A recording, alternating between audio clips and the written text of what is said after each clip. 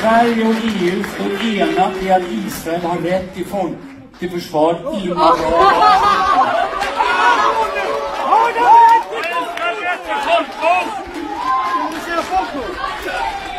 Har Israel rätt att begå folkmord?